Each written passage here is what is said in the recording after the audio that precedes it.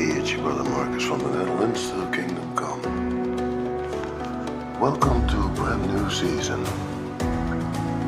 The topic for today will be the Gospel of the Kingdom. I have often heard preachers speak about the Gospel. They refer to salvation and eternal life which is given to us through faith in the Son of God, Jesus Christ.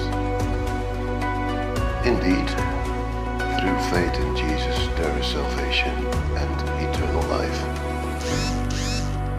But what worries me is that the gospel that Jesus himself often spoke of is not or is hardly heard today. In the Gospels, Jesus regularly speaks of gospel of the kingdom of God or the kingdom of heaven. This is a message that goes far beyond salvation and eternal life through faith. And that, my friends, is something we must not forget.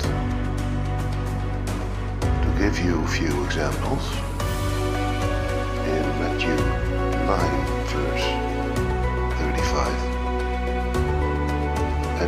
went around all the cities and villages, teaching in their synagogues, preaching the gospel of the kingdom, and healing every disease and every affliction among the people. Also in Lucas 4 43. But he said to them, I must preach the gospel of the kingdom of God also to other cities, for to this purpose I am sent.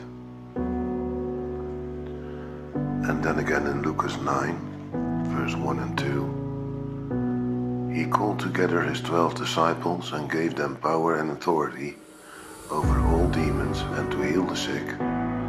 And he sent them on their way to preach the kingdom of God and to heal those sick. Matthew 24, verse 14, and this gospel of the kingdom shall be preached in all the world as a testimony unto all nations, and then the end shall come. Even after his resurrection, he stayed with his disciples for 40 days to talk to them about the kingdom of God.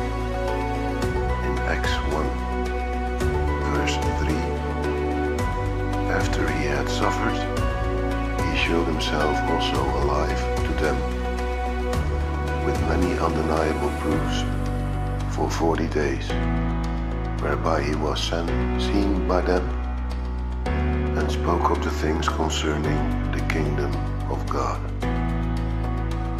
Apparently Jesus thinks it, think it is important for believers to know what the kingdom of God is everything will be happy and what will happen with the kingdom of God.